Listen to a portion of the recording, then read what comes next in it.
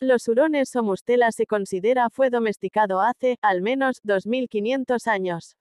Se conoce que César Augusto envió hurones o mangostas a las Islas Baleares para controlar plagas de conejos el 6 a.C.